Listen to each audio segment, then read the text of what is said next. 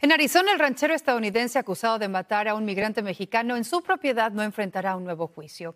Esa es la conclusión a la que llegó hoy la fiscalía después de que el jurado no llegara a un veredicto y el juez declarara el juicio nulo. El acusado George Allen Kelly, de 75 años, mató a Gabriel Cuen Gutísima cuando este último fue visto con otro grupo de migrantes en el rancho del estadounidense. Fue ahí cuando, según el acusado, disparó al cielo para prevenir a los migrantes, pero al menos una de las balas impactó a Gabriel.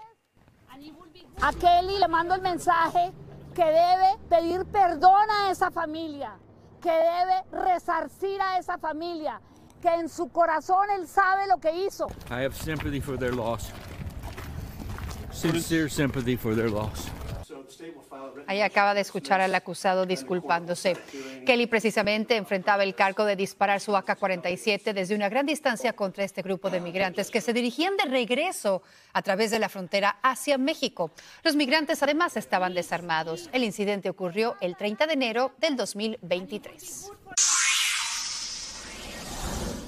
El gobernador de Georgia, republicano Brian Kemp, firmó hoy una ley que obliga a la policía a entregar a extranjeros sin documentos a las autoridades migratorias. La nueva norma castiga a los oficiales que no notifiquen a ICE que tienen en custodia a una persona que sospechen es indocumentado. El proyecto ganó impulso tras el asesinato del estudiante Laken Riley, del que un inmigrante venezolano fue el principal sospechoso. Las protestas no se han hecho esperar. Para el día de mañana tendremos esta caminata por justicia, en donde estaremos visitando la casa del gobernador eh, Ken para eh, de alguna manera presentarle nuestra inconformidad con la firma de la HB 1105. Defensores de los inmigrantes se han opuesto a la legislación diciendo que la medida ha alimentado miedo y duda entre esta comunidad, lo que impide que colaboren con la policía y no denuncien delitos de los que son víctimas. Aquí en México, hoy el presidente Andrés Manuel López Obrador reveló que habló con el presidente Joe Biden y acordaron seguir trabajando juntos para detener la inmigración irregular. Según López Obrador, la llamada telefónica fue a instancias de Biden.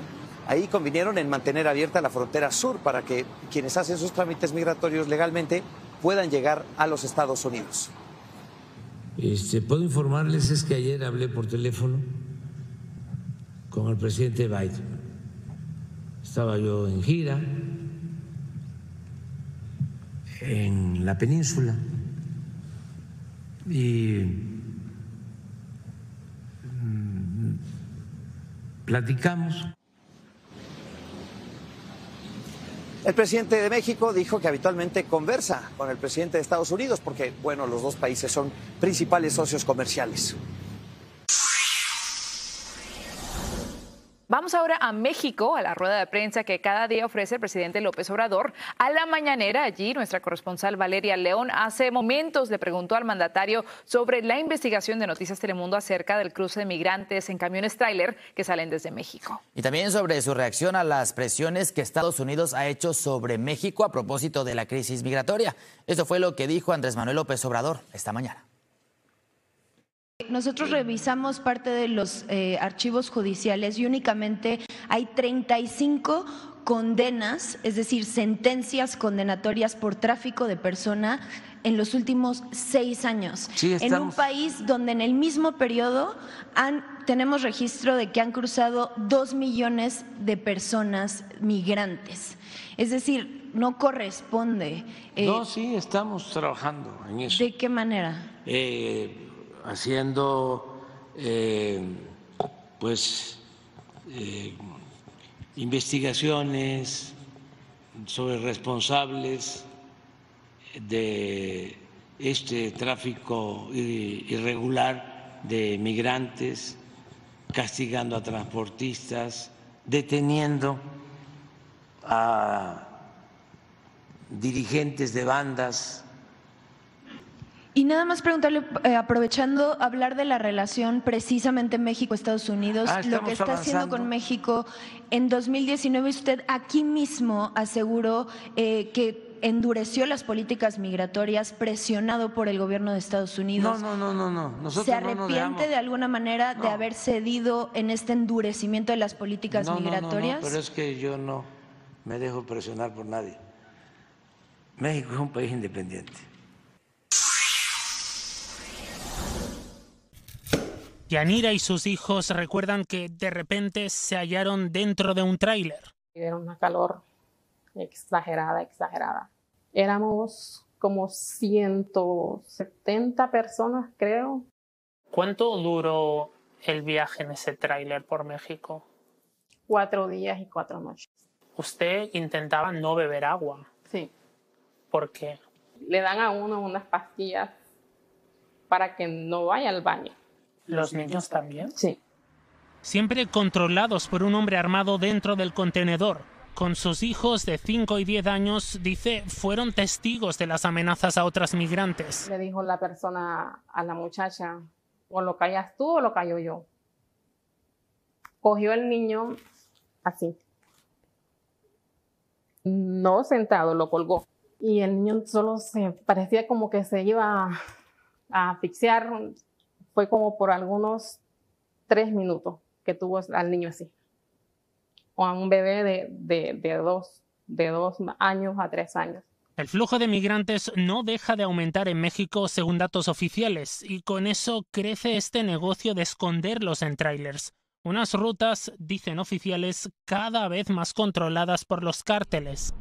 Lo revela una nueva investigación de Noticias Telemundo y el Centro Latinoamericano de Investigación Periodística junto a siete medios más de Estados Unidos, México y Centroamérica. Elaboramos una base de datos con más de 170 casos de camiones. Llevaban casi 19 mil migrantes, entre ellos más de 3.200 niños.